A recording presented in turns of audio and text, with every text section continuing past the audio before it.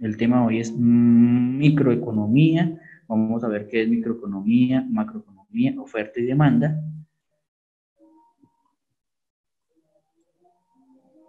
Y en este tema muy puntual para que ustedes lo vean, ahorita voy a nuevamente recargar qué es lo que vamos a hacer, qué actividades vamos a realizar para que lo tengan en cuenta. Entonces, esta clase de microeconomía presentamos los parámetros, actividades de calificación, tiempos y entregas, calificación e introducción de el tema de microeconomía. ese es el tema del día de hoy para poder ingresar a la clase de macroeconomía. Desearemos que todo el mundo ingrese. Yo sé que algunos estudiantes no pueden ingresar por cuestiones laborales, por cuestiones de trabajo, todo ese tema. Lo, anote esto y envíemelo al WhatsApp, por favor. Los dos economistas más importantes de la historia.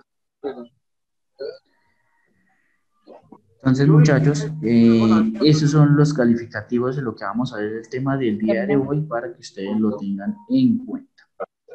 Al final no vi lo de ahí fue cuando usted me llamó. Judy, Judy, tiene el micrófono abierto, Judy. Judy tiene el micrófono abierto. Judy, Judy Zavala. Ya lo silencié. Listo, muchachos. Entonces, Pregunta del millón, yo juraba que era hasta las ocho y cuarto, pero no dice que es hasta las ocho y media. Entonces, parámetros de clase de macroeconomía. Entonces, vamos a iniciar clase 6 y 45, supuestamente. No voy a corregirlo de una vez.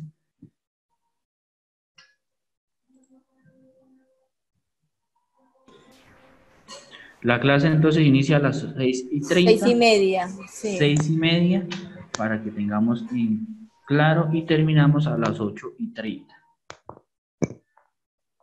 Con preguntas y dudas. ¿Alguna duda ahí?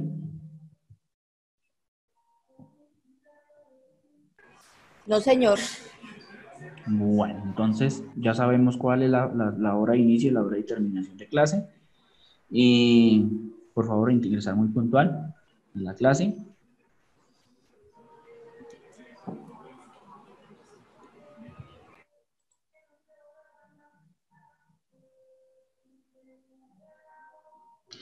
Profe, buenas noches. Sí. Eh, profe, disculpe, ¿es ahí, no es microeconomía o, así está bien, como lo tiene usted ahí, macroeconomía? Microeconomía. Vamos a corregir una vez esta, microeconomía, ya la tenemos corregido. Entonces ya tenemos las dos claras, los dos eh, conceptos claros.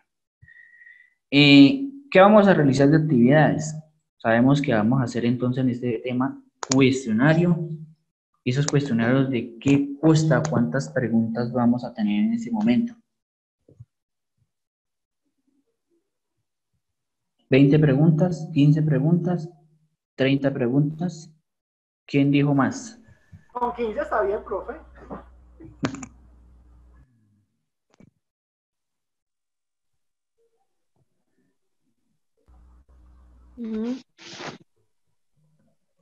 Entonces consta de 10 preguntitas de los temas listos. No voy a preguntar cosas que de pronto ustedes no tengan. ¿Y de dónde van a buscar las preguntas o de pronto de dónde van a estudiar los temas para poder hacer el cuisecito o el parcial? De las presentaciones que yo suba en este momento y de los documentos de soporte que van a tener en el aula.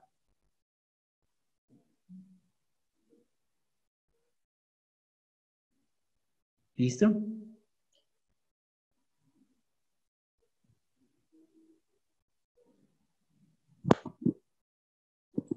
Los quiz, entonces ya sabemos que cuáles son las fechas de los quizzes o del quizecito. El control de lectura es del libro. El libro entonces se llama Los 12 economistas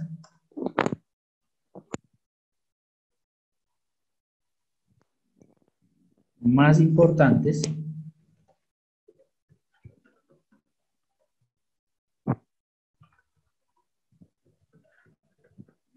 de la historia. Ese es de Adam Smith.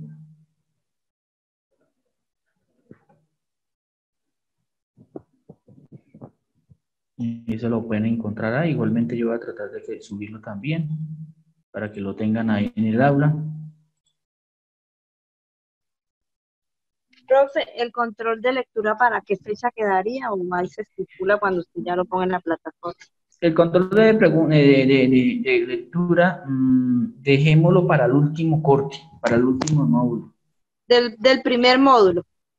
No, del último módulo. Ah, ok, perfecto. ¿Sí? O sea que más o menos entre el 7 y 14, o el 7 al 13, que va a ser el parcial, ahí ingresaría el control de lectura.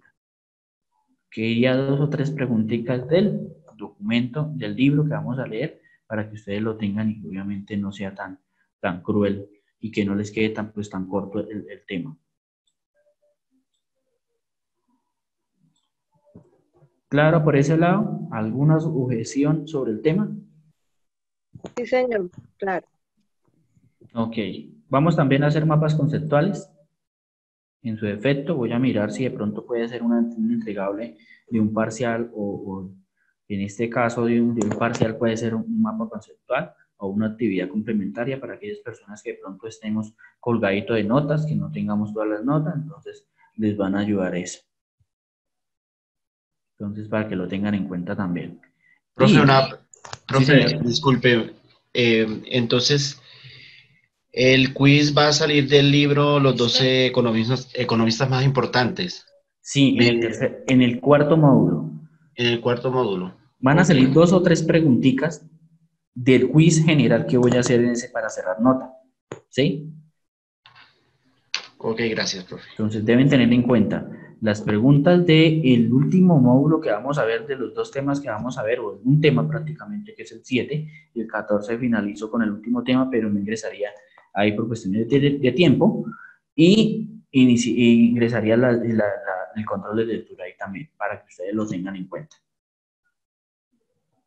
¿Les parece? ¿Claro el tema?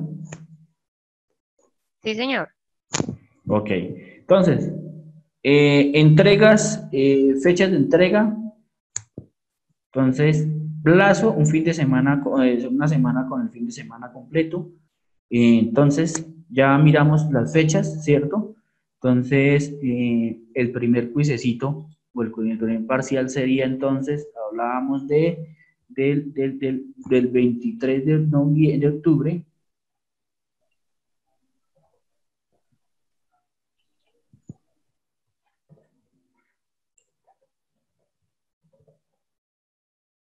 Parcial número uno, ¿listo?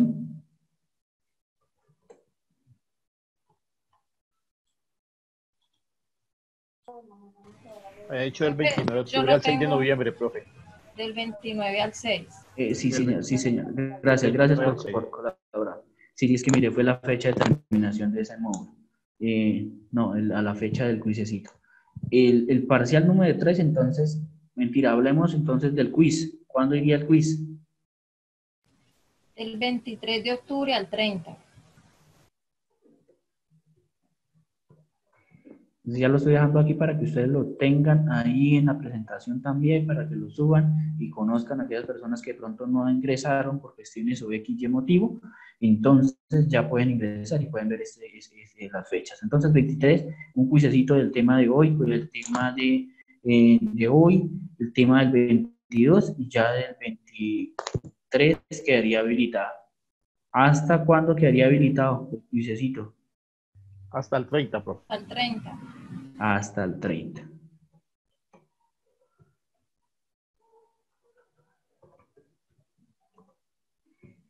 Y el parcial sería el 29 al... Al 6 de noviembre. Profe, hasta el 30, pero de octubre colocó en noviembre. Uy, sí, gracias, gracias. Octubre.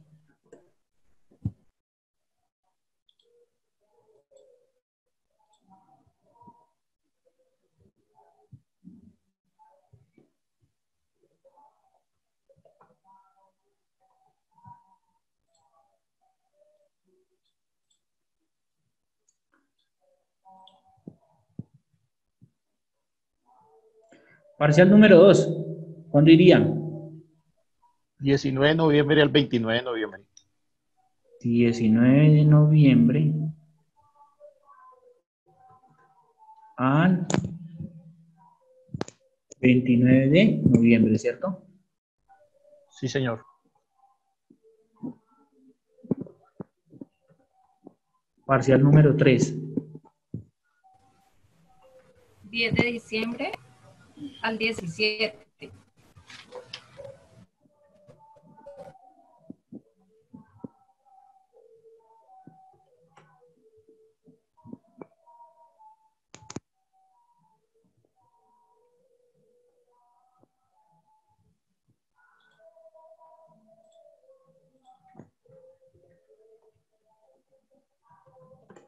Parcial final.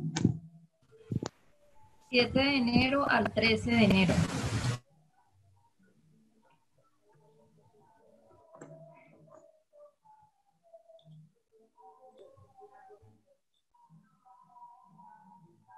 Y finalizamos.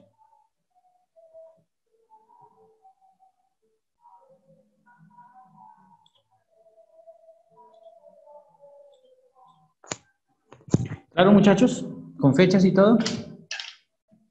Señor. Sí, profe.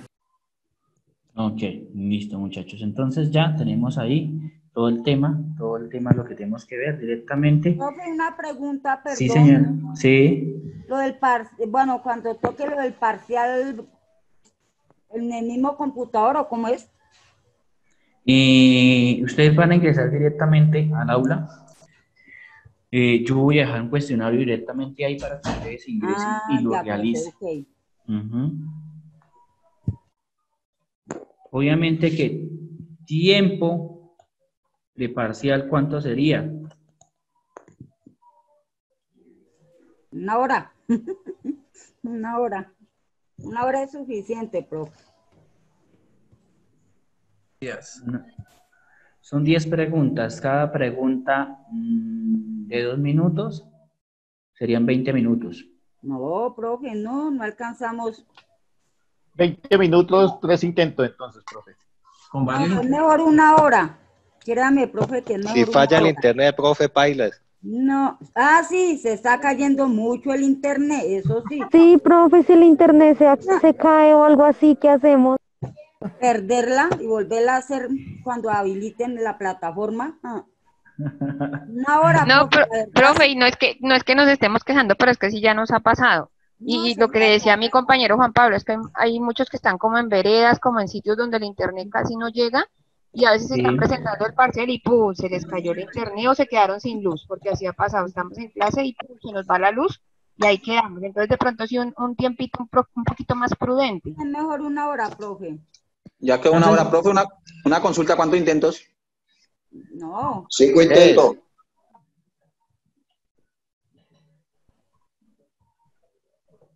Tres intentos.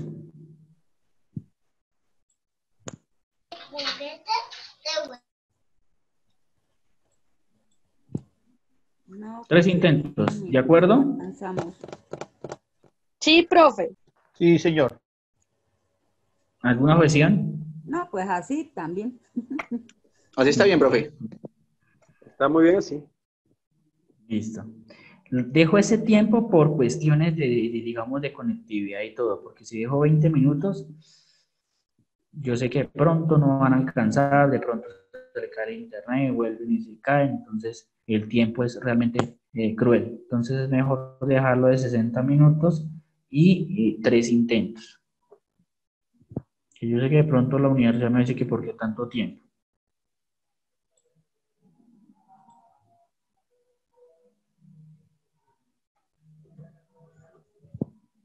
Profe, eh, en los intentos queda la nota más alta. Sí, claro. Entonces, la nota más alta.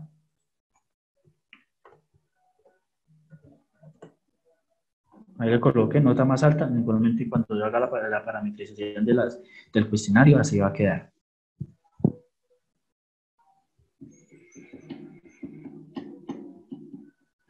Falta lo más importante, califico de 1 a 2. De 1 a 5. Cachos, voy a calificar de 1 a 5. 3.5 a 5, profe. Normalmente usted pasa un cuisecito por Entonces, nota como tal, ¿qué pasa? De 3, 5 hacia adelante. De 1 a 5 califica para que tengamos las notas muy claras. ¿Listo? ¿Alguna objeción del tema de notas? Está claro hasta el momento, profe. Sí, profe, así está.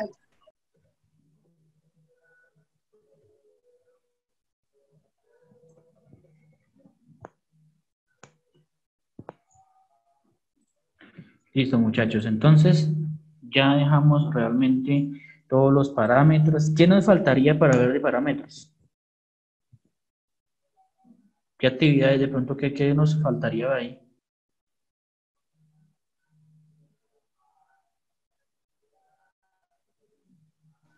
No, profe, está claro. Profe, de pronto, ¿sabe qué le quería yo preguntar? Digamos, en la dinámica de la clase, eh, usted está explicando la, el tema y si nos llegan a surgir dudas dentro de su explicación, eh, ¿podemos preguntar o tenemos que esperar hasta que usted termine el tema para hacer las preguntas? Pues porque hay profes que de pronto uno les interrumpe y, pues no les gusta, o, o, vamos levantando la manito y usted nos va dando la palabra. Vamos levantando la, la, la manito y preguntamos, pero preguntas muy cortas, y si tiene algunas preguntas muy, muy, digamos, muy, dudas muy extensas, eh, la escriben y la dejamos al finalizar.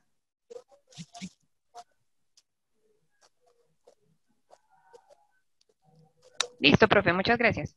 Bueno, entonces no, no, no creo que veamos, no tengamos más dudas sobre el tema, ¿cierto?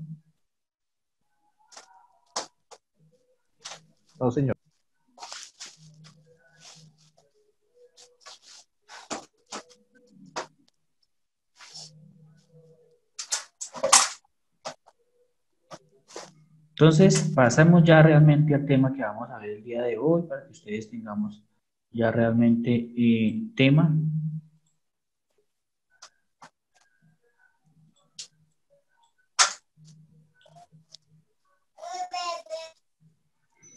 Listo, muchachos. Entonces ya iniciamos realmente, ya vimos los parámetros, ya vimos todos los, contenidos que tengamos pendientes, todas las actividades que pronto hemos realizado durante la clase. Si tenemos alguna duda, me levantan la manito, me dan diciendo, profe, le faltó esto, profe, no tenemos alguna duda.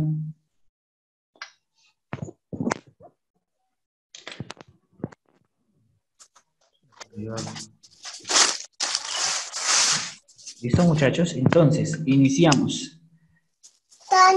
La macroeconomía como tal, entonces, en este momento, buscamos realmente, por favor, cerremos micrófonos.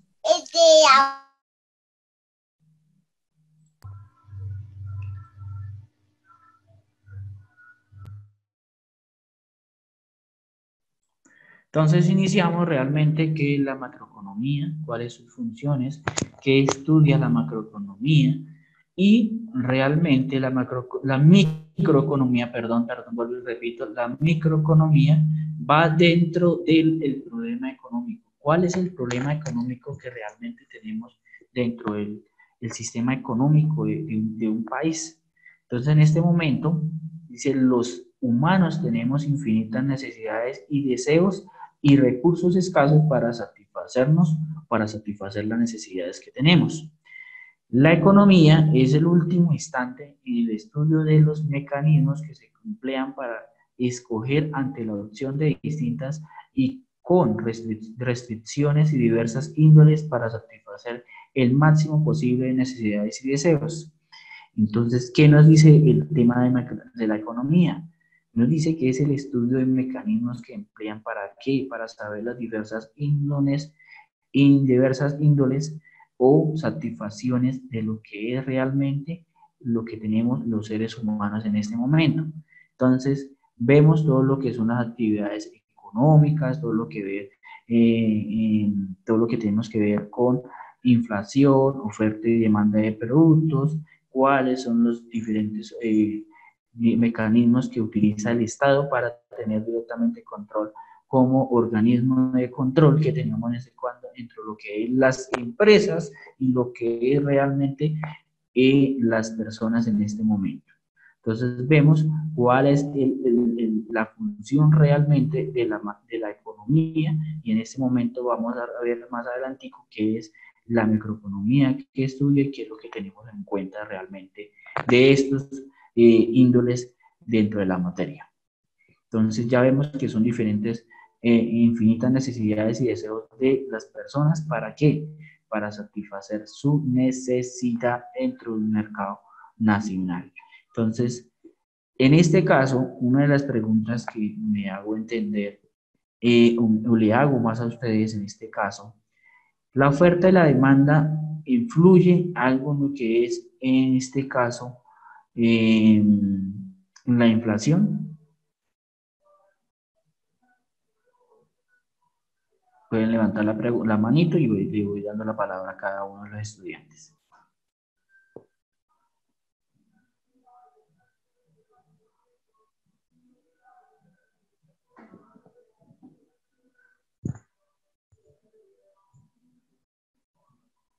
¿No? ¿Ninguna duda?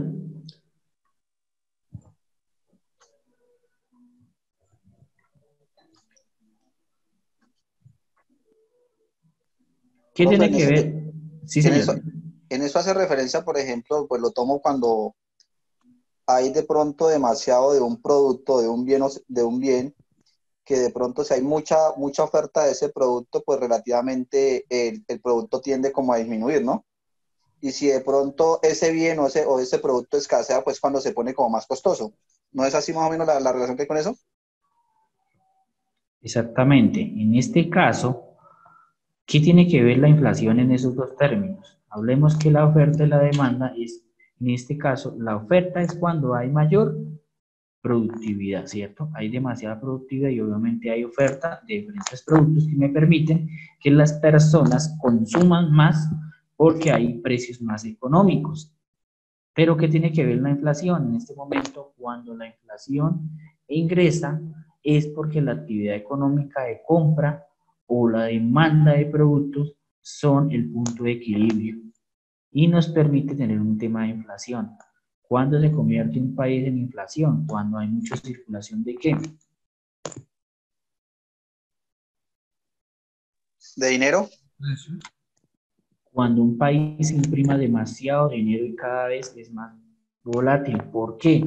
Porque hay demasiado dinero, pero hay muy poca, hay mucha demanda y hay muy, poca oferta, ¿sí? O en este caso, la oferta y la demanda, la demanda va encaminado, en este momento es cuando los productos escasean y hay mucha demanda. Entonces los precios tienden a aumentar. Entonces, esa es la relación realmente lo que es oferta y demanda con eh, la inflación y vamos también a ver todo lo que es la, la preinflación, la hiperinflación, porque en este momento, en esta, por ejemplo, un, ejemplo muy cerquita que estamos acá, muy, no muy lejano, Venezuela, ¿cómo está? ¿Cómo está la inflación en Venezuela? Pues eso le iba a decir, profe, pues la, la inflación en Venezuela está bastante elevada por el tema de eso, que han impreso mucho dinero pero no tienen productos para, para, para el consumo. Exactamente, entonces hay mucha demanda, hay, hay mucha oferta, pero en este caso y la demanda de productos son, es demasiado alto y hay escaso producto, hay productos muy escasos. Entonces realmente eh, el, el, flujo de dinero es bastante, que me permite obviamente tener una relación muy negativa y eso busca que los precios sean elevados. ¿sí? Allá es el caso que ya realmente eh, haciendo conversiones de dinero, realmente un par de zapatos realmente en, precios colombianos pues puede valer entre 300 y 400 mil pesos un par de zapatos, ¿sí? El más, pues el más económico, imagínense cuál es más, más caro. Entonces realmente pues los precios son demasiadamente altos y la, la oferta, la demanda es demasiado demanda y hay oferta muy poca.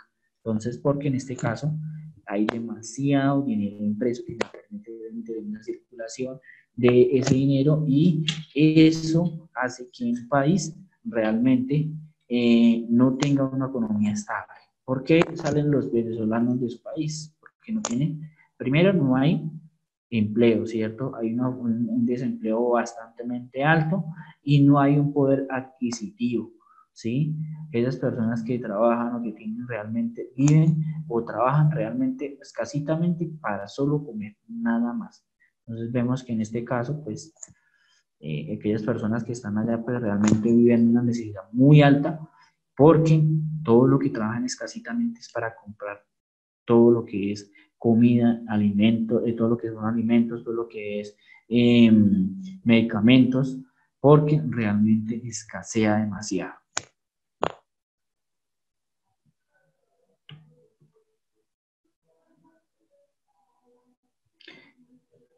En este tema de, microeconomía hay tres ideas básicas. ¿Cuáles son esas tres ideas básicas? La escasez, la escogencia y el costo de oportunidad. Cuando hablamos de escasez es porque los recursos son limitados y nuestra necesidad y deseos son limitados.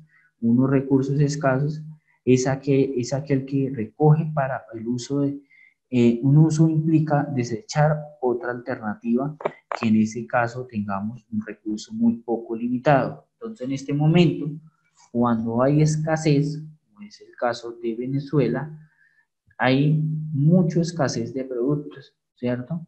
Y no hay una, una, una relación en este caso de poder escoger X o Y producto. Las personas no pueden escoger esos productos, sino realmente tienen que realmente tomar la decisión de escoger ese producto y solo porque no hay sino solamente ese producto y no tienen la alternativa de de escoger otro producto por cuestiones de recursos económicos. Entonces, no hay ese límite o esa libertad de poder escoger esos productos en ese país. Entonces vemos que en este momento allá ellos realmente tienen que pues, escoger y comprar esos productos que tienen porque no hay más productos que tengamos en este momento que me permiten obviamente tener una relación propiamente eh, dicha dentro de una economía pues estable. La escogencia, dice, cada, cada, la, cada la, la escogencia de recursos, queramos o no, queremos que escoger entre la diferencia de posibilidades y el uso de los recursos. En ese momento, si ellos no pueden escoger, realmente tienen que mirar la posibilidad de cuántos recursos cuenta cada persona para poder comprar un producto. Entonces, vemos que en, esta, en, en Venezuela, es un país realmente muy golpeado por la economía a través de, ese sistema económico político muy neutralizado que es una dictadura que permite realmente no restablecer y no permite real un crecimiento económico porque mm, no hay primero inversión extranjera en ese país. No he permitido realmente que las empresas hoy en día ingresen a ver en este proceso un crecimiento económico para poder invertir. Cuando un país abre las puertas para que estas empresas extranjeras ingresen al país, eso es un costo de oportunidad para las personas. Y en este caso vamos a hablar del costo de oportunidad, donde dice que es el valor de la mejor oferta desechada al realizar una escogencia. Omar, cuéntame. Profe, una pregunta es que en la escogencia dice que da la escasez de recursos, querámoslo o no, tenemos que escoger entre diferentes posibilidades de uso de esos recursos. Tengo confusión ahí si es eh, escoger entre, como hay escasez, pues hay que comprar lo que haya. Sí. y entonces aquí dice porque hay diferentes posibilidades de uso de los recursos. Por eso, en este caso, lo único que puede hacer ellos es, no es o quedarse con lo que tienen y hacer la posibilidad de uso de esos recursos, o mirar la forma de poder escoger otro producto. Si no pueden, ¿cierto? Si no pueden escoger ese producto, pues tienen que quedarse con lo que escogió y buscar la, la diferencia de posibilidades del uso de esos recursos. Entonces realmente es quedarse con esos productos que tienen ellos mismos y realmente hacerlos rendir hasta donde más eh, se, eh, permita la, elasticidad del, del, mercado económico. Entonces, esto nos permite realmente entender que no es que si escojamos un producto, entonces, si no es la escasez, quiere decir que, queramos o no, tenemos que escoger entre las diferentes posibilidades del uso de los recursos. Entonces, en este caso es la opción que si no pueden escoger, o, en este caso, escoger solo un producto y hacerlo, obviamente, buscar la manera, la posibilidad del uso de esos recursos. En el caso de ellos, allá, los recursos es solo el tema del petróleo, ellos solo trabajan con el tema de petróleo, ¿sí? Entonces, en este caso, solo hay petróleo y ellos buscan la posibilidad de utilizar esos recursos para qué?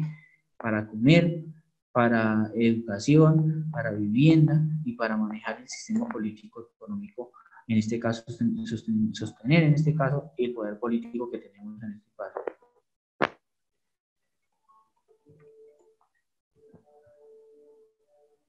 Entonces vemos que en este caso, pues la escogencia es lo que tengamos y ese país me permite obviamente eh, vivir con lo que tengo y tratar de buscar la posibilidad de, utilizar los recursos que tiene el, país para poder sobrevivir en este caso. Cuando hablábamos del costo de oportunidad, es el valor de una mejor alternativa desechada al realizar una escogencia. Entonces, es mirar cuál de esas opciones o esas posibilidades es mejor. Entonces, mirar si por la compra de un producto tengo un costo de oportunidad. ¿Sí? ¿Qué me permite realmente comprar ese producto y tengo un costo de oportunidad para poder comprar otra alternativa en este momento? Entonces, hablábamos eh, de ese país donde, ¿cuál es el costo de oportunidad del aprovechamiento de los productos? Ellos han dejado de ingresar en este, por el, por el poder político, por esa dictadura, no han dejado en este momento que ingresen empresas extranjeras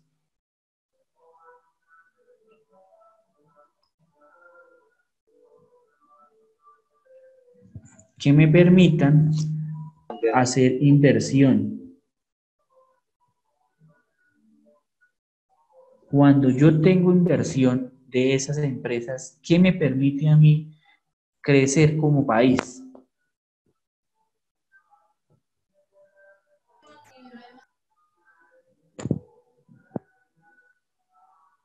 Profe, pues habrá más, hay más oportunidades de adquirir más productos y eso, una empresa genera impuestos y eso genera riqueza. Entonces, en este caso, cuando una empresa ingresa, podemos decir que tiene, tenemos que ofrece, primero que...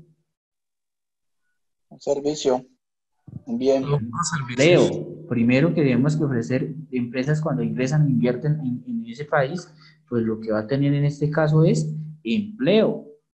¿Sí? Ya tenemos directamente empleo, que me permite obviamente generar qué? Que esas personas que tengan qué? Ingresos. Un ingreso, un ingreso. adquisitivo. o un poder. Adquisitivo.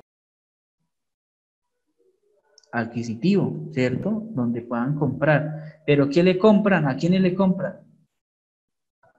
A las mismas empresas a las mismas empresas que están invirtiendo ahí. Entonces, mire cuál es la relación. Pero en este caso, las empresas que ofrecen más también. Empleo. Sí, ¿qué más puede ofrecer una, una, empresa a las personas en este momento de un país? Desarrollo, profe. Un desarrollo, sí, señor. Desarrollo económico, ¿a través de qué? Inversión. De los impuestos que recaen a través de esas empresas. ¿Y esos impuestos para qué nos sirven en este momento? Para inversión. ¿La inversión de qué? ¿En qué? Inversión social, infraestructura, en salud, educación. Para el desarrollo del, del país como tal. Para el sostenimiento y desarrollo del país. Para en este caso lo que hablaba la compañera, para educación, para infraestructura, para el pago de los mismos servicios del Estado, ¿cierto? Para la salud. Salud, educación, inversión social, ¿sí? Entonces, mire, mire cómo es el, el globo que nos permite, obviamente, que cuando una empresa ingresa a un país, o nos permitamos ingresar a un país, en este caso, pues eso es que nos invierta en este momento y nos permite realmente generar en este caso, una economía más estable. Entonces vemos que en este caso, sí, en, en Ecuador iba a decir, en Venezuela no permitimos estas condiciones, pues no voy a poder realmente eh, ingresar eh, estas condiciones. Igualmente el país va a quedar siempre igual, señora. Disculpe, le hago una pregunta. Cuando una, una empresa ingresa al país, o sea, eh, ella le exigen pagar más impuestos que una empresa que sea creada de aquí, que sea de aquí, de nuestro país. No. ¿Qué pasa cuando ustedes, ejemplo, el gobierno permite que las empresas, o que las empresas ingresen a hacer inversión extranjera? ¿Qué es lo que busca? Primero, el Estado busca que ellos ofrezcan empleo. Todo que es. Si ellos ofrecen empleos, ellos en este momento solo van a adquirir un mínimo impuesto ¿cierto? En los primeros 5 o 10 años de vida de cada empresa. ¿Para qué? Para que en este caso las empresas tengan mayor eh, oportunidad de ingresar en este momento a sus empresas. Entonces, Profe, ¿hasta dónde son buenos esos alivios tributarios en ese tiempo?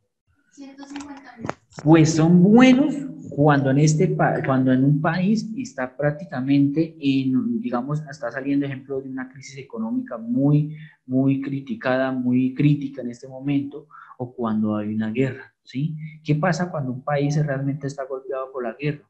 Pues obviamente lo que hay es devastación, no hay crecimiento económico y solo hay un poder político que realmente no busca una uh, objetividad de crecimiento, sino adquirir solo el poder y no piensa sino en ellos.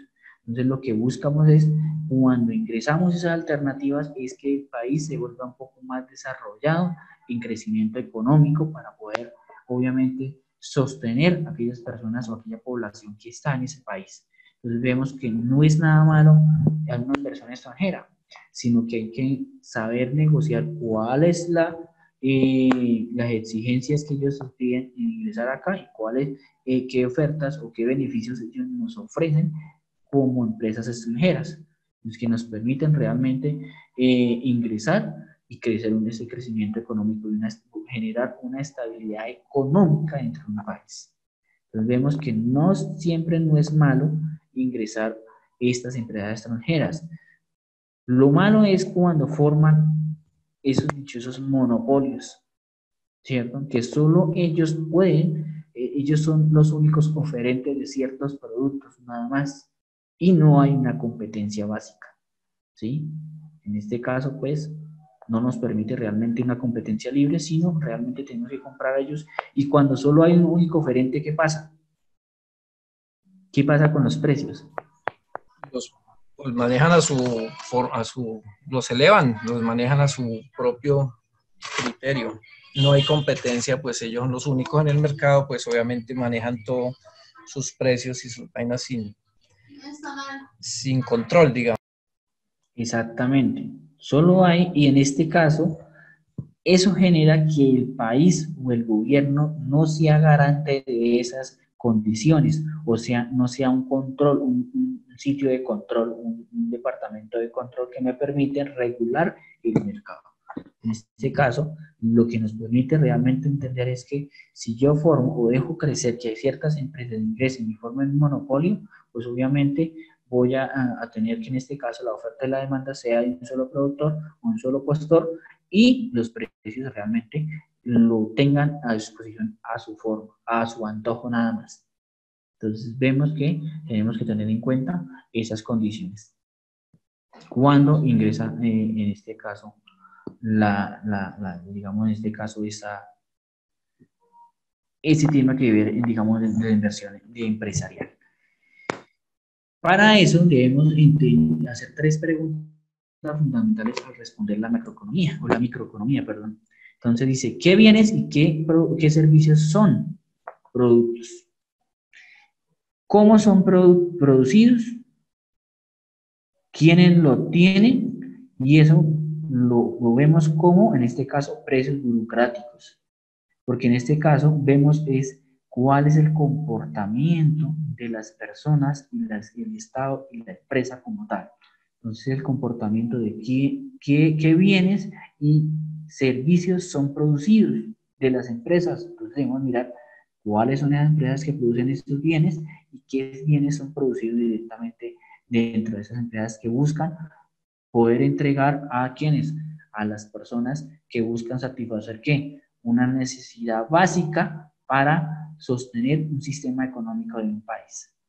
¿Qué productos o qué, cómo son los producidos? ¿A través de qué? Entonces, ¿cómo producen los productos las empresas? ¿Quiénes son eh, la fuerza de trabajo? El recurso humano. El recurso humano, sí señora, el recurso humano es como cómo son producidos, a través de qué? Del recurso humano, pero hay otra, otro dato más importante, ¿cómo los producen? ¿Cómo son producidos? ¿A través de qué?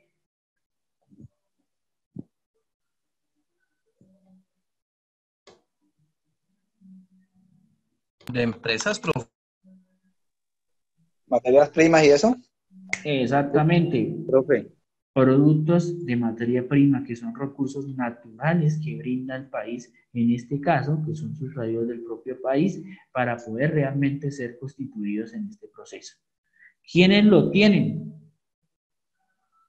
Las mismas personas que realmente prestan una fuerza de la fuerza laboral que me permiten obviamente tener un poder adquisitivo, donde me ofrece un empleo y me tiene un poder adquisitivo y me genera obviamente un precio los precios burocráticos y así en ese caso podemos ver lo que es la oferta y la demanda y con el comportamiento de la oferta y la demanda miramos cuáles son los precios que se generan realmente dentro de una microeconomía de productos de primera necesidad de un país.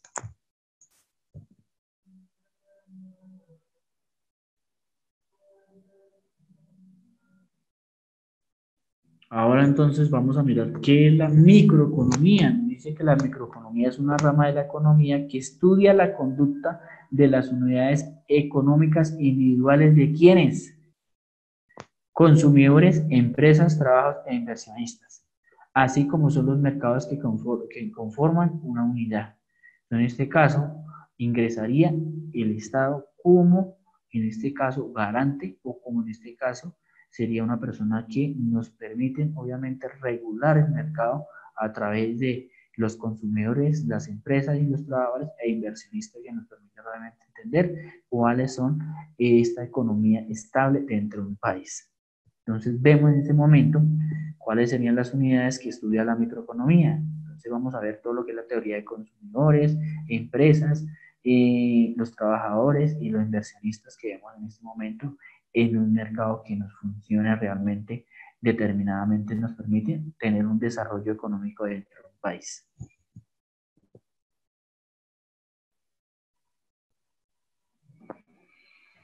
Nos dice de, de, forma clara que la microeconomía estudia la economía de manera individual. ¿Por qué? Porque este método de trabajo de microeconomía es el supuesto de los consumidores y las empresas que racionalmente ante la infinita variedad de alternativas para tomar una decisión de elección, siendo posible para ellos ordenarlas según sus gustos y preferencias, buscando siempre que se considere un mejor caso, según el siguiente caso. Entonces, vemos que las personas dentro de la microeconomía es mirar cuáles son los supuestos consumidores de las empresas y cuáles son las diferentes infinitas variedades que me permiten consumir para así tomar realmente una necesidad o tomar una alternativa de ese producto que voy a elegir y así mismo poder tener en este caso un gusto de escoger cualquier producto que voy a consumir. Entonces en este caso, si yo tengo un producto A y un producto B, con diferentes precios, cuál de los dos tomaría la mejor decisión como costo de oportunidad para poder ingresar, en este caso, mm, como una manera individual o de que estudia las personas, en este caso, en la forma de comprar lo que es familia y lo que es una sociedad y una economía. Entonces vemos que en este eh, estudio, que estudia de manera individual, lo que buscamos es buscar cuáles son las variedades de alternativas y asimismo comparar o escoger de forma remota estos productos que permiten realmente cubrir una necesidad dentro de un país de estas personas que realmente está o una comunidad o una sociedad.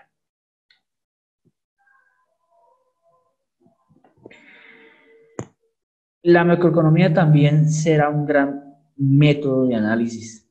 ¿Por qué? ¿Cuáles serían los parámetros de un análisis, de método de análisis? Dice, preside los resultados del mercado si, si su comportamiento es ordenado y normal.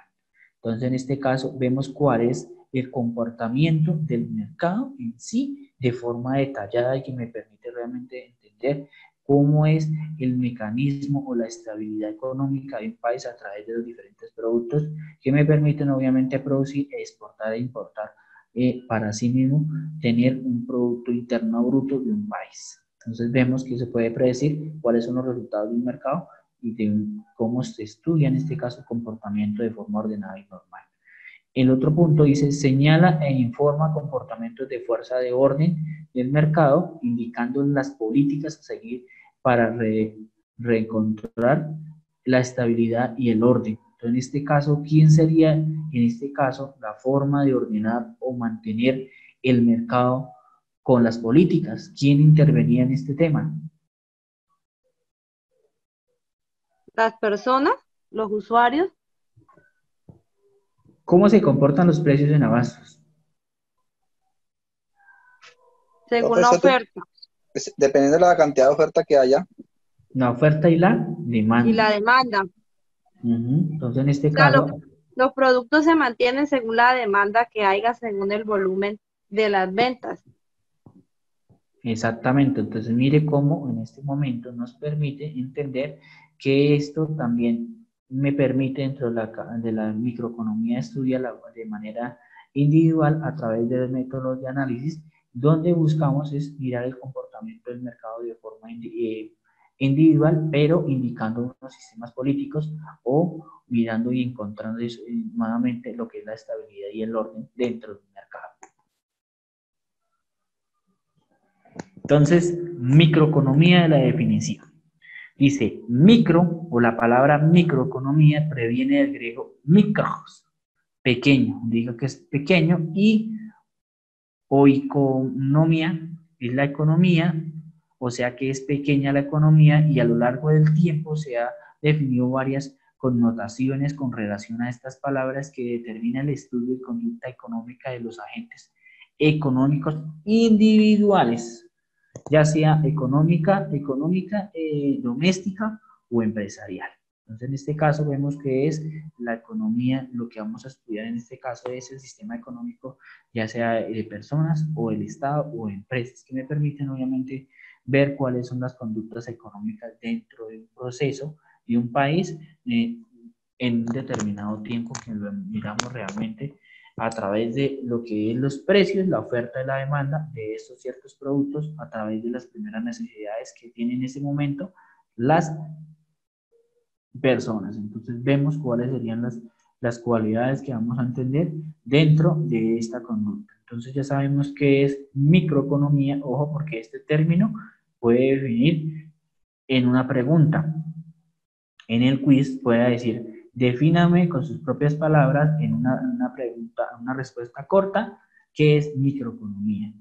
Entonces usted puede decir microeconomía es, en este caso, es estudiar las, el estudio de las conductas económicas de los agentes económicos individuales. Eso sería la pregunta realmente de microeconomía, ¿sí? Una respuesta corta.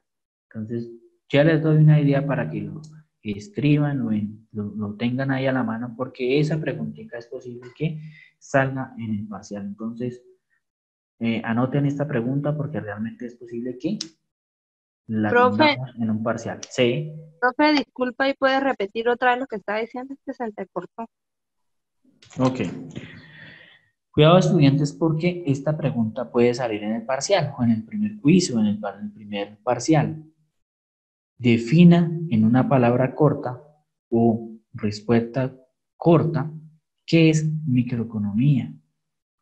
Y ustedes pueden decidir allá muy claramente ustedes pueden describir no todo lo que está aquí dentro del término, sino dice, determina el estudio de la conducta económica de los agentes o las personas individuales o de los mercados individuales económicos individuales. No más, eso es lo que ven responder dentro de una, en un parcial. Porque me permite determinar qué es microeconomía. Dice, determina el estudio de la conducta económica de los agentes económicos individuales.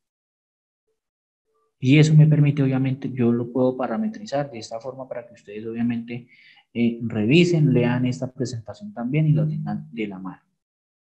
Entonces, entendido, muchachos, ojo, bien, eh, van escribiendo esas preguntitas, que esas son las que voy a, a, dejar así puntos, puntos abiertos para que ustedes realmente vean que, uy, profe, realmente esas preguntas que usted, o esas, esas definiciones que usted dejó como en el aire, es posible que salgan en el parcial. Entonces, ya tienen una pregunta del parcial o del quiz. Ahora, definiendo la microeconomía, dice que es una ciencia a través de otros estudios, dice que es una ciencia económica que se enfoca al estudio de las empresas y el comportamiento individual de los consumidores. Entonces, viendo de otros autores, define que la ciencia de la economía o la microeconomía se enfoca en el estudio de las empresas y el comportamiento individual de los consumidores. En este caso, cómo las empresas eh, tienen el poder adquisitivo para ofrecer, para, hacer la, eh, para producir productos y servicios, donde las personas, en este caso los consumidores, se, se, se ven dentro del mercado cuál es el comportamiento individual de cada persona. Y también el análisis de, eh, es el análisis de las unidades económicas elementales como consumidores, productores y mercado. Entonces, también cuáles son las variables que estudia la microeconomía. En este caso, son los elementos de los consumidores y los productores y mercado que se determina en este momento. También definen los autores, en este caso, que define el funcionamiento detallado de la producción, la distribución del consumo de bienes y servicios basándose en los principios económicos del, de de que él, como, cuándo y dónde. Cuando se, cuando, quien se basa en el manejo adecuado del mercado.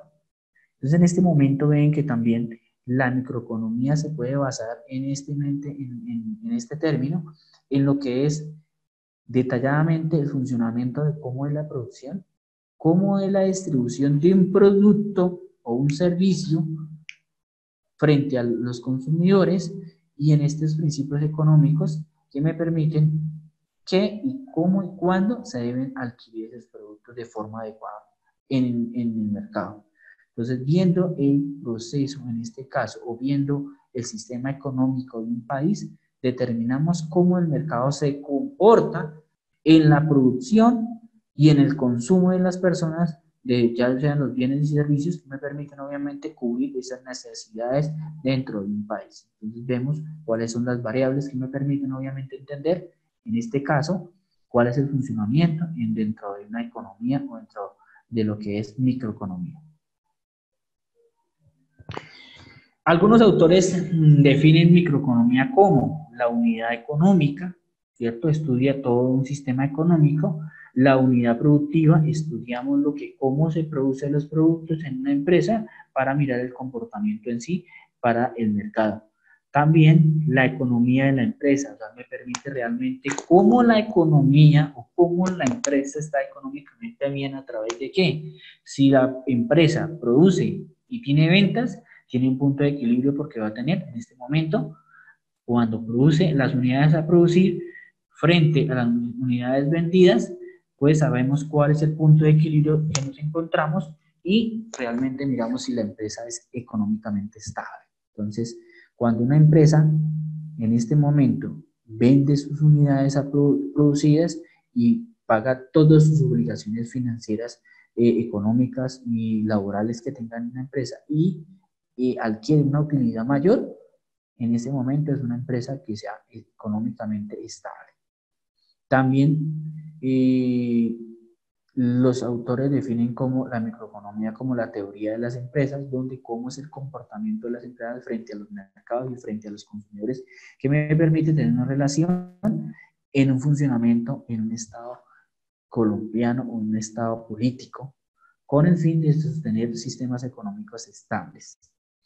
Teoría de los precios, a través de qué? Oferta y demanda, donde veo cuál es el compromiso, cuál es eh, lo que tengo para qué compro, cuáles son los productos que compran los usuarios, para así mismo determinar cuáles son los precios y cuál es la oferta y la demanda que me, me permite restablecer ese punto de equilibrio entre los productos que tengo que van a producir y los consumidores que en este momento serían las personas que determinan que a qué momento debo comprar estos productos y así mismo realmente tener una estabilidad en los productos o en los precios en este momento.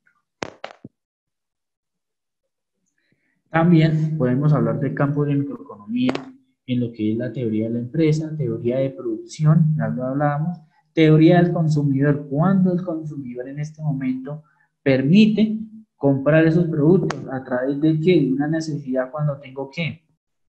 Un poder adquisitivo. Si yo tengo un poder adquisitivo, realmente puedo consumir pues constantemente. Cuando tengo mayor eh, poder adquisitivo, tengo un mayor proceso de consumir. Entonces, de comprar productos a través, de, este, a través del precio, a través de la producción y en este caso, cómo es el comportamiento de las empresas.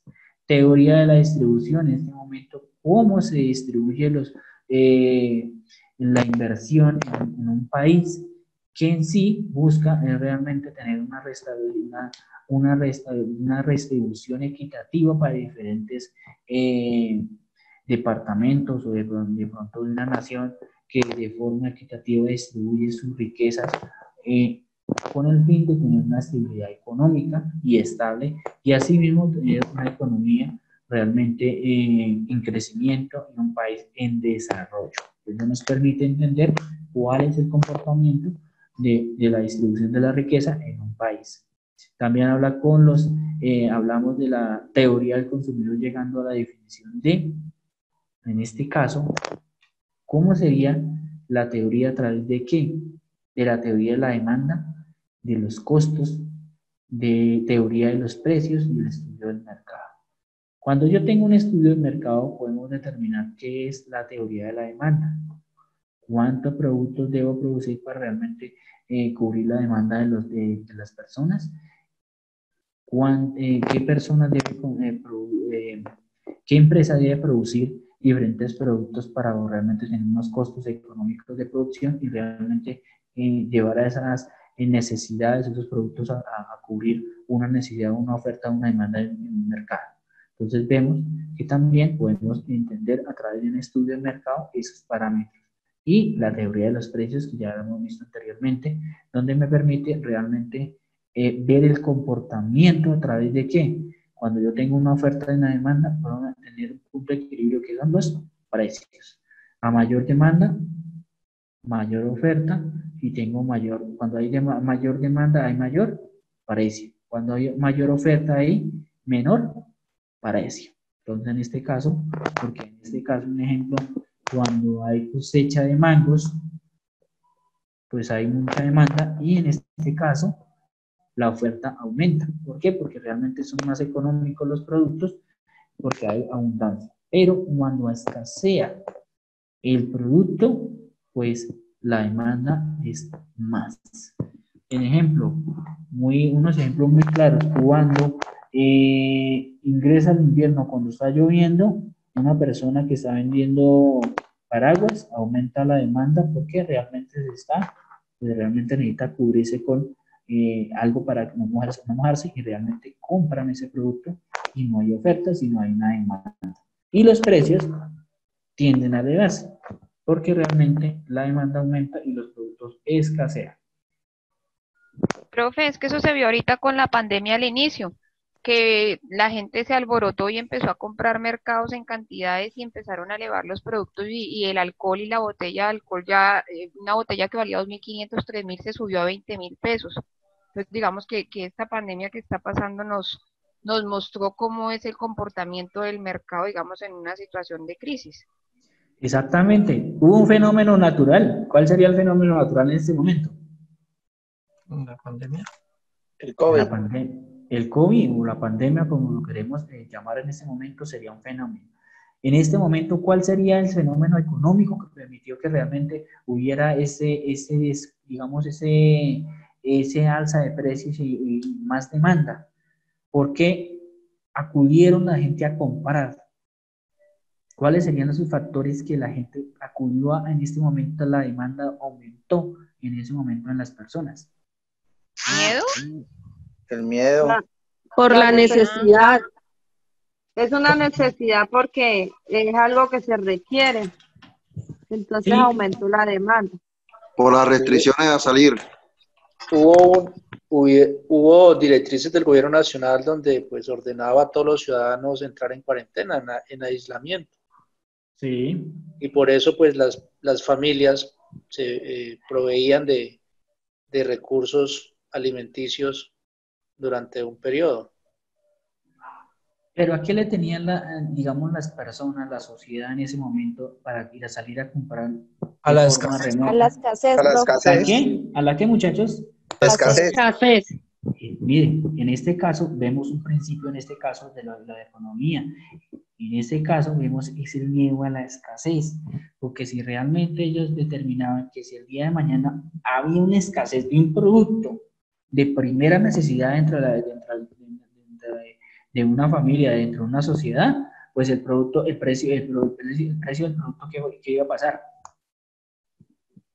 Se eleva. Se eleva. ¿Qué pasó cuando el gobierno le dijo o le ofreció, en este caso, a todas las personas que pudieran, en este caso, pequeñas y medianas empresas, eh, producir eh, tapabocas o todo el tema de, de, medicamentos, medicamentos no, sino de elementos de protección para el COVID. ¿Qué pasó en ese momento? Cuando comenzó la pandemia, cómo estaba cada precio de cada producto.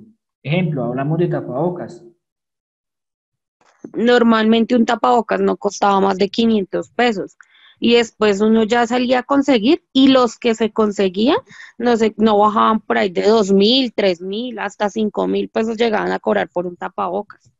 Exactamente, entonces mire que llegó un momento otro que por el mío de escasez los precios aumentaron, ¿sí? Entonces demasiadamente aumentaron porque había poco producto y había mucha demanda. Hay y también y había mucha pasar que hay, mm, digamos, eh, empresas o personas inescrupulosas que guardan esos productos o los, los almacenan para generar escasez y subirle al valor, al precio, ¿no? Eso se llama en términos económicos. Apacaramiento. Eh, especulación del mercado. Profe, pero que yo tenga entendido, eso que está, que aportó el compañero, eso es ilegal, ¿cierto? Eso no se puede hacer. No, no se puede hacer. Pero eso. Pero no hubo. No hubo, no hubo claro, de, ninguna índole. Pues sí trató el momento de, de, de, acaparar algún producto necesario. En el caso del alcohol, el alcohol no había, solo se había, digamos, se producía, pues obviamente para lo poco que se necesitaba, que es en el caso para el consumo familiar, el consumo pues, empresarial y el consumo más para en este caso es en, en, médico, ¿sí? en, las unidades, obviamente en los hospitales y todo. Pero no pensaron en ese momento, las empresas no, es, no, no, no, no producían más número de, de, unidades de, alcohol o litros de alcohol, porque realmente, pues, en primero no se tenía determinado que realmente eso nos permitía realmente desinfectar, ¿sí? Porque realmente no sabíamos en este caso y la sociedad nunca sabía, ¿cierto? Pues sí, realmente las personas que trabajaban, probablemente en el sector pues sabía que eso ayuda a desinfectar todo. Pero en este caso, se, se escasea el producto y en un momento a otro que el alcohol, pues obviamente lo que decía la compañera, una botellita de alcohol que valía 3.500 pesos, llegó a costar 6 mil, 7 mil pesos, un litro 10 mil, 12 mil pesos, 24 mil pesos por una botella, por un litro, que realmente eso es unos precios exagerados, pero eso es más por el tema de especulación, primero, y segundo, porque no había producto, había escasez de producto. Entonces, cuando hay escasez de producto y hay mucha demanda, los precios aumentan. Entonces, significativamente se aumenta mucho en este momento. Eh, los precios pueden aumentar, pero digamos el gobierno nacional establece también unos parámetros de control, ¿no? Eh, eh, ahí podría calificarse como usura y, de ser así la usura, pues el gobierno nacional lo castiga, ¿verdad? Pues en este caso, eh, la usura es cuando los, eh, eh, el, tema de interés sube, ¿sí? Los intereses suben. Pero en este caso, cuando los precios subieron significativamente, lo que buscó fue que el, mercado realmente, el Estado que hizo, obligó que cada uno de todos los departamentos, todos los departamentos que tuvieran su departamento, su empresa licorera, produciera el alcohol, ¿sí? Entonces buscó realmente una oportunidad de crecimiento en este caso. ¿Para qué? Para obligar que hubiera más oferta de producto y que la demanda realmente estuviera toda. Entonces, obligaba a que los precios se restablecieran nuevamente, porque había ya más productos que me permitían realmente crecer poco a poco. Entonces, realmente lo que hizo fue el Estado para poder regular, no es ingresar a las empresas y no puede cumplir con este precios porque son realmente muy, muy elevados y es ilegal. ¿Qué hizo ellos? Pues de forma muy clara, muy, digamos, un parámetro muy lento, sin tener que pelear con las empresas, obligó a que las empresas del, del departamento que fueran licoreras de cada departamento producieran eso. Entonces, ¿qué hizo?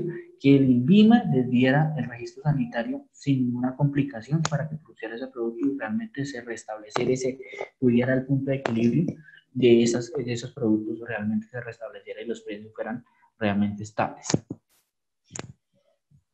Entonces, ya la última presentación acá dice la macroeconomía como análisis del sistema económico. Cuando hablamos de análisis del sistema económico, vemos cómo el Estado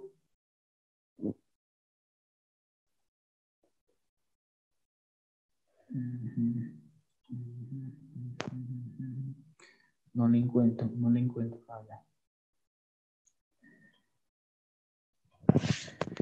Vemos cómo el Estado acá es un agente que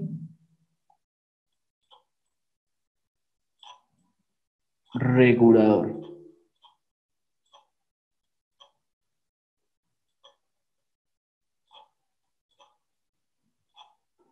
¿Para qué? Para que el mercado se estabilice. Pero ¿cómo lo hace en este momento? Donde tenemos una mano de obra acá, ¿cierto? Donde tenemos las empresas que van a producir bienes y servicios y unas familias o unos consumidores que tenemos en este momento. ¿Qué aporta los consumidores o familias al Estado? En este caso, las familias y, en este caso los consumidores, tenemos es, aportamos qué? Impuesto para qué? Para el sostenimiento y regulamiento directamente del Estado. Entonces vemos cómo apunta la flecha y nos apuesta en este momento en lo que son impuestos. Ahora, ¿qué ofrece las empresas al Estado y a las familias?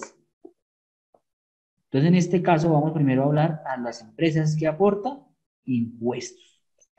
Ahora, las empresas que ofrece a, los consumidores y familias. Salario. Salario. Salarios que me permiten realmente tener un sostenimiento económico y así mismo tener un sistema económico dentro de un país en términos de microeconomía. Pero ¿qué ofrece las empresas, las familias a las empresas? Mano de obra. Ingresos. Mano de obra calificada. Mano de obra, mano de obra. Mano de obra, ingresos no, porque en este momento las empresas, las personas no generan un ingreso para las empresas, generan, es en este caso, de familia a empresa, prestan servicio de mano de obra, ¿cierto? Ahora en este término, que mm, las empresas que producen realmente, que le ofrecen a, los, a los consumidores? salarios. Entonces vemos cuáles son los salarios. Ahora vamos a ver de reforma de las, el Estado que le ofrece a las empresas. La seguridad legal, todo lo que constituye como tal la empresa para legalizarla. Para legalizarla, todo el sistema legal o las condiciones legales para un funcionamiento de una empresa. Entonces ya hablábamos que lo que hace el Estado es ofrecer eh, eh, una inversión que pueden, digamos, las empresas venir aquí al país a ofrecer, en este caso, una inversión y ellos les permiten nuevamente, le ofrece, el Estado un sistema o unas condiciones legales para poder eh, que las empresas tengan unas condiciones de producción de, productos. Pero ahora los estado, el Estado, en este caso, ¿qué le, ¿qué le ofrece a los consumidores? la seguridad social por parte de la parte de parafiscales, lo que es la EPS, lo que es todo lo que viene como siendo lo de parafiscales. Exactamente, entonces mire cuál es el ciclo. Va de familias a Estado y de Estado a empresas y de empresas a Estado. ¿Sí? ¿Cuál es la realmente que funciona de forma sincrónica? Las familias ofrecen una mano de obra y las empresas ofrecen qué? unos salarios. Entonces, en este, este, en este, en este, ciclo, en un sistema económico de un país, ofrece y así realmente trabaja de forma regular en este momento. Entonces, nos permite tener una regulación, una regulación directamente del Estado. ¿Qué es lo que hace? Regular, realmente es un agente regulador de impuestos y un sistema de seguridad social y un sistema de seguridad legal. Y obliga a que las personas obviamente eh, tengan ingresos por parte de las empresas y que, que las, las, personas ofrezcan una mano de obra calificada para que las empresas tengan un funcionamiento y un conocimiento realmente para la producción de, eh, del funcionamiento de las empresas en la producción. Entonces vemos cuál es el ciclo en este momento de lo que es un sistema económico que me permite obviamente entender cuál es su funcionamiento dentro del sistema eh, llamado microeconomía.